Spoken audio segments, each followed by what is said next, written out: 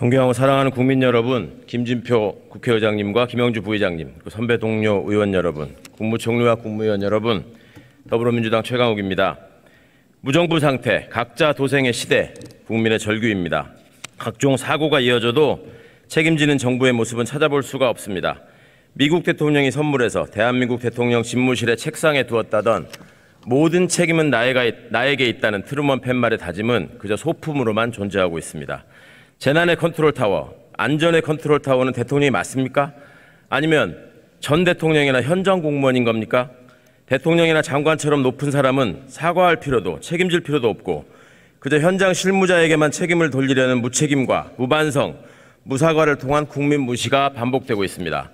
청와대에 있더라도 산불이 나면 헬기라도 타고 와야죠 라고 말했던 후보가 막상 대통령이 되더니 물난리가 나도 그 장면을 보면서 태연히 퇴근하고 집중호우 예보가 있어도 당장 서울로 대통령이 간다 해도 상황을 바꿀 수 없다며 예정에 없던 해외 출장을 떠납니다. 그러니 여당 출신 도지사마저 침수된 오송 지하차도의 참사 앞에 그 언행을 외우듯이 따라했습니다.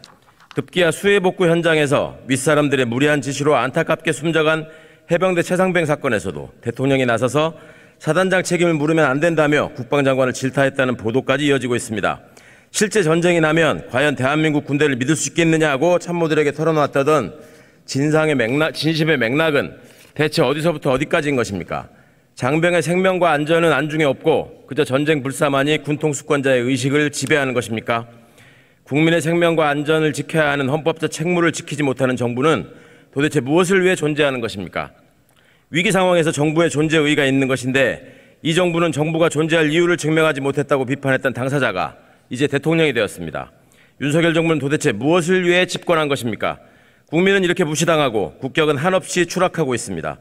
미국 언론하고 인터뷰하면서 100년 전 역사로 인해 일본이 사과하기 위해 무릎을 꿇어야 한다는 인식을 받아들일 수 없다고 하더니 방송에 출연해서는 국가 간의 도청이 금지돼 있다고 생각하지 않는다고 답해서 친구가 친구를 감시하냐고 물었던 앵커의 말문이 막히게 만들었습니다.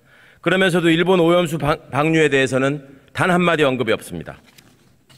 이런 발상이 대통령이 국무위원들에게 말하는 인류 국가로 만들기 위한 체인지 띵킹에 해당하는 것입니까? 윤석열 정부는 역사의 수레바퀴를 거꾸로 돌리고만 있습니다. 민주주의가 역행하고 법치주의가 무너지며 민생 경제가 추락하고 외교 안보는 냉전 시대로 회귀하더니 급기야 역사마저 퇴행시키려 하고 있습니다. 국민이 뽑은 관리인에 불과한 고작 5년짜리 정권이 겁도 없이 최소 30년 이상 방류한다는 후쿠시마 오염수를 염려하는 국민들을 가리켜 싸워야 하는, 싸워야 하는 세력이라면 겁박하고 윤석열 씨가 한 말입니다. 윤석열 후보가 한 말입니다. 홍범도 장군을 비롯한 자랑스러운 순국선의 독립운동 역사마저 왜곡하고 지우려는 반민족적인 행위마저 서슴치 않고 있습니다. 메카시즘을 떠올리게 하는 권위주의 군사독재 시대와 냉전 시대로의 퇴행도 모자라 이제 일제 강점기로까지 퇴행하는 것이 아닌지 걱정입니다. 대체 경제는 어떻게 할 생각입니까? 지금 전 세계적으로 고금리 정책을 쓰고 있는 마당에 생긴 문제들이기 때문에 이거를 근본적으로 어떻게 대처할 방도가 없다고 당당히 말하던 출근길의 생각이 이어지기 때문에 이렇게 모든 경제 지표가 악화되며 곳곳에서 구멍이 나도 손 놓고 있는 것입니까?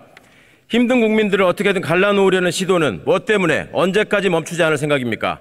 이권 카르텔을 혁파하겠다며 헌법의 정신을 무시한 채 노조 카르텔, 사교육 카르텔, R&D 카르텔, 건설 카르텔 등 건설 카르텔 등 수많은 싸움과 분열을 만들어내고도 대장동 50억 클럽의 주역인 검찰, 법조, 언론 카르텔에는 침묵합니다. 내 장모가 누구한테 10원 한 장 피해준 적이 없다더니 장모가 구속되고 처남이 기소되어도 사과 한마디 없습니다. 이 정부들은 가장 강력한 힘을 발휘한다고 많은 이들이 지적하는 또 하나의 카르텔, 처가 카르텔에 대하여는 왜 이런 방구도 없는 것입니까? 이렇듯 처참하게 퇴행하는 역사와 정의, 그리고 민주주의와 법치주의에 대한 정부의 견해를 묻고자 합니다.